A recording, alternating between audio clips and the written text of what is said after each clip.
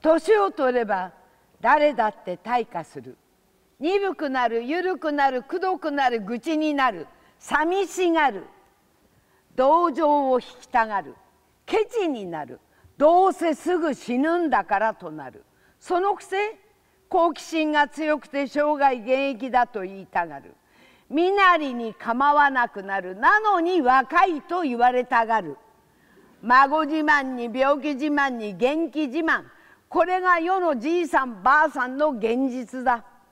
その現実を少しでも遠ざける気合と努力がいい年の取り方につながる。間違いない。そう思っているうちに私は今年78になった。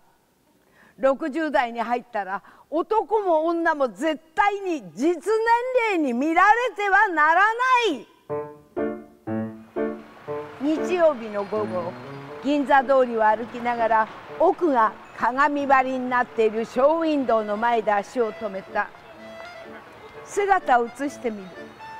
ハイヒールビリジャングリーンのセーター大ぶりのネックレス白と黒の大胆な幾何学模様のスカートネイルもバッチリ。ショーウィンドウの前では必ずチェックする。どっから見ても誰が見ても78には見えない。よし。嫁の顔を思い浮かべる。幸男が初めて弓をうちに連れてきた日。私は一目見ただけでがっくりきた。こんな貧相な色黒女は恥ずかしくてとても嫁とは紹介できない。しかし時はすでに遅かった。俺たち2泊3日で京都へ行ったその帰りなんだよ。心ばかりなんですけどあのお土産です。いろいろ考えたんですけど生八つ橋です。お父様もお母様もあまり硬いものは食べにくいかと思って。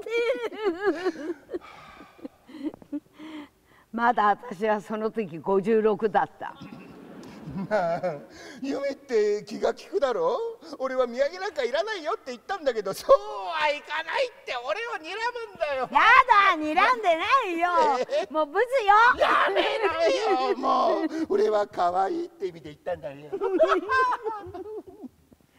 頭が悪くてモテない男女は親の前であろうと垂れ流しだ雪男がもだえんばかりにデレデレしてんのは見たくもない。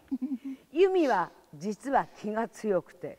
猫をかぶっていたのは健康して半年ぐらいだった。やっと結婚できたくせに店も手伝わず素人のくせに絵ばっかり描いている。ジャージ襟口の伸びきった T シャツシミとシワの満感色の顔。たった一つ気に入らないのがこの嫁である。